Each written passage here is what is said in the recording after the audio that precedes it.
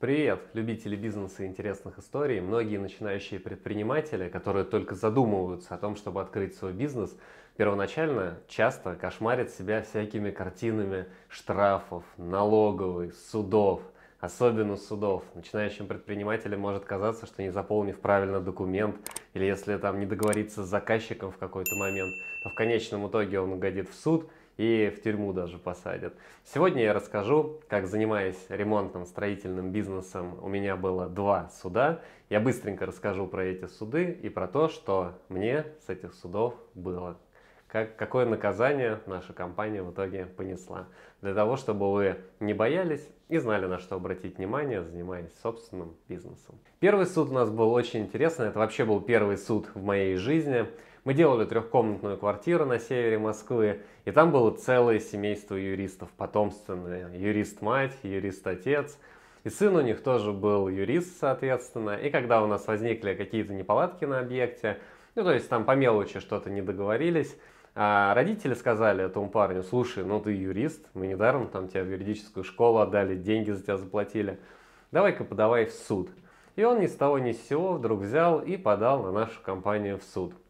Очень интересно, по каким причинам, то есть там была затяжка сроков, и сроки мы действительно затянули, и, и какие-то там мелкие разногласия, и самое главное, он почему-то решил, что может с нашей компании содрать деньги за весь материал, который мы поставляли на объект. Прикол был в том, что на самом деле весь материал, он нам давал деньги, мы его покупали. И все чеки у нас были, и весь материал был наш.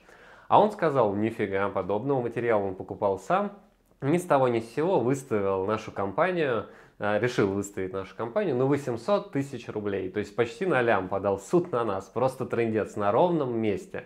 Причем до того, как подать суд, он еще звонил мастерам. И мне даже, по-моему, звонил. Я как раз вел тогда этот объект. И говорит, «Э, если вы сейчас мне же не заплатите 300 тысяч и не уйдете с объекта, я еще подам на вас в суд. Ну, то есть угрожал. Эта ситуация была тем случаем, когда наша компания не была виновата. Я, в общем-то, когда вот у нас все эти разборки начались, э, спокойно совершенно это отреагировал и совершенно никакого страха не было. Ну, в общем-то, влепили нам повестку в суд на 800 тысяч рублей. Что из себя представляет суд вообще? В общем-то, для тех, кто там не был ни разу, это сидит судья, сидит э, помощник судьи, она записывает все, конспектирует. Кругом микрофоны, которые снимаются, то есть записывают то, что ты говоришь. Ты приходишь, вот мы были с адвокатом, то есть меня представлял еще адвокат, и он представлял себя сам, как заказчик с другой стороны. А суды постоянно могут переноситься. То есть вы можете, например, прийти в суд, кто-то не готов сказать, ну мы передвинем дело на другой день. Потом не готова другая сторона, мы передвинем на третий день. И так суды могут длиться месяцами и даже годами порой длятся, потому что все переносят дела, придумывают отговорки там, и так далее. Вот, э, что делал адвокат? Адвокат должен был изучить э, материалы нашего дела с нашей стороны, цифры, представить там, какие-то доказательства, но он это все, конечно же, не изучил. Так очень часто бывает, я потом с ребятами разговаривал. И он больше отвечал в нашем суде за эмоциональную составляющую. То есть, когда нам заказчик говорил что-то, неправдоподобное, там что-то гнал, врал, он там, товарищ судья, посмотрите на него, он гонит, это мошенник. Это вот такие вот он выкрики, это были с его стороны. Я как человек не очень эмоциональный, по фактам, я же прекрасно знаю, как у нас там дела складывались, я уже нас представлял с точки зрения математики, с точки зрения цифр. То есть вот посмотрите, взяли материал на эту сумму, получили на эту сумму, вот, пожалуйста, чеки. Доказательства потом передаешь судье, она это дело все изучает. А, вот, у нас судов было, насколько я помню, два. Еще мы опрашивали свидетелей. Свидетелями были э, сметчик, вот, который вел объект, там я вот его курировал, вел его сметчик. Он пришел и давал показания, то есть как вообще, по его мнению, здесь были дела с нашей стороны, с нашей компании. Со стороны э, истца, собственно, нашего заказчика, молодой парень, такой в татуировках весь, он э, представлял себя сам. И у него позиция была слабая заведомо, потому что, э, потому что он был неправ. То есть, когда человек врет, когда он путается, когда он не шарит в цифрах, его в суде можно разбить просто на раз-два. Плюс эмоциональная составляющая в суде тоже очень важна. И с нашей стороны наш э, юрист, адвокат, не знаю, как его назвать, он нас представлял тоже вот с эмоциональной стороны достаточно уверенно. Вот. И после того, как мы два раза, два заседания у нас было, кстати, суды иногда приходится ждать по 6 часов, то есть назначено на 10, заходишь в 5. Это нормальное вообще дело. Так что лучше судов, конечно же, избегать. Вот, но в этом суде, в общем-то, было два судебных заседания, и раза три там по разным сторонам, по разным причинам мы переносили.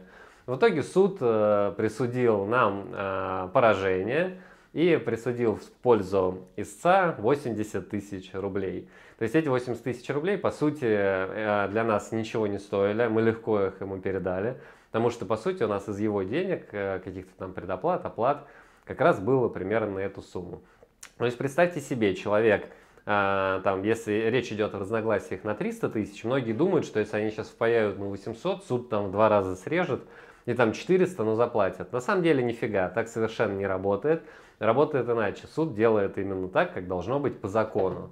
И то, что по закону должно быть, оп, бегают тут, мешаются. То, что должно быть по закону, а, оно именно судья именно таким образом принимает решение.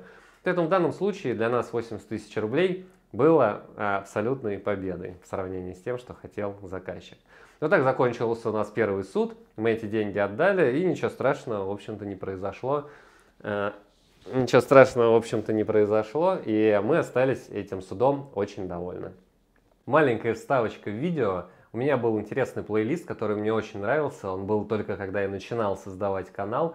Называется как раз вот «Гусиная история», где я рассказывал всякие интересные случаи, которые были со мной на стройке или в каких-то других видах бизнеса.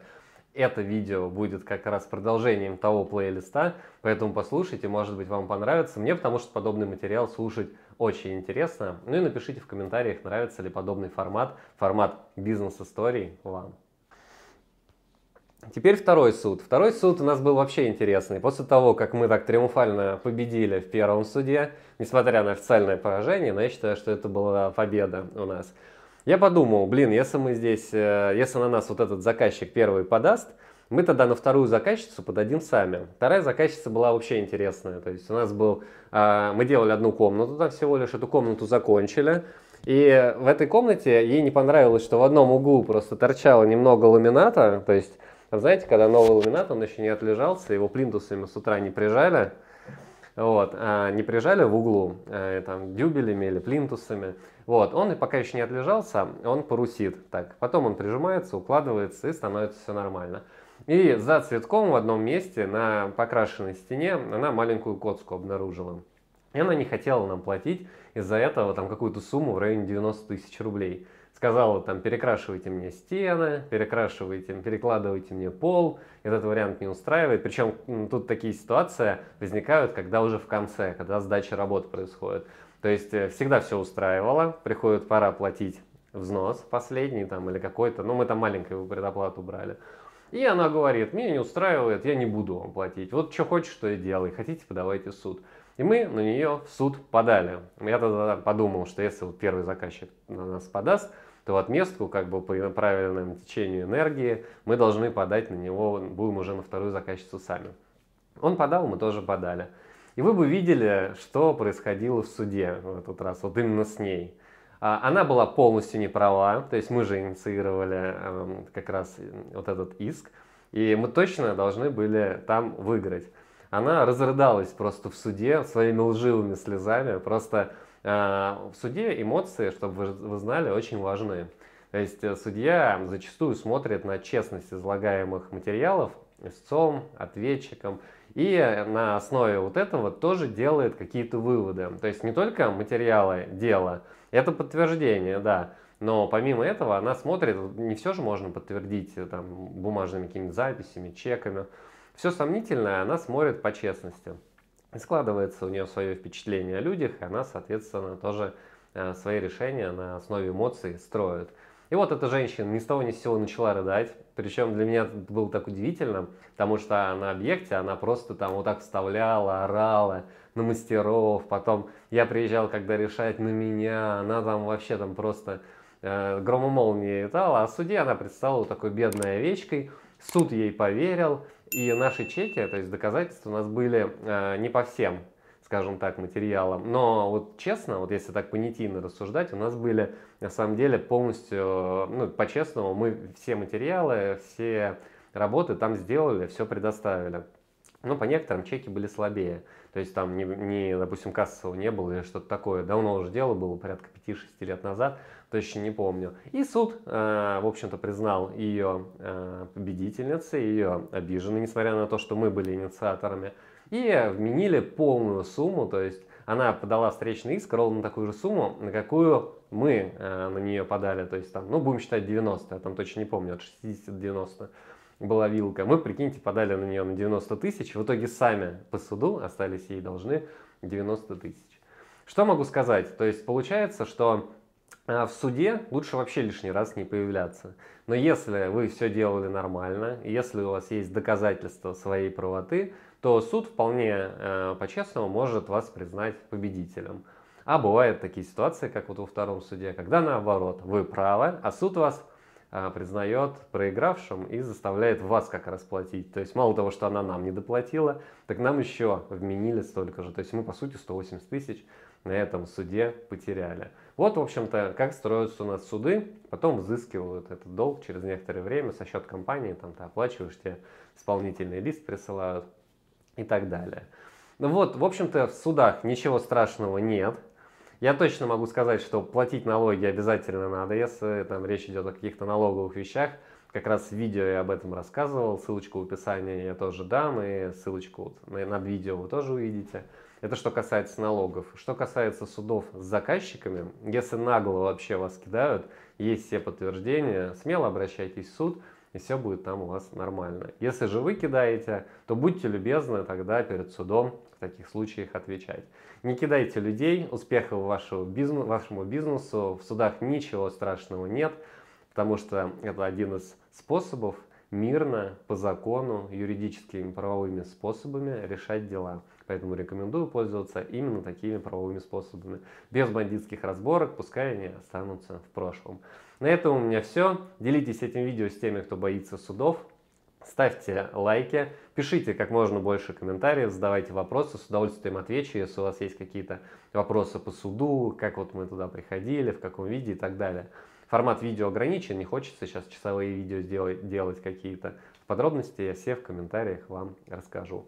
На этом у меня все. Подписывайтесь на канал. Удачи. Пока.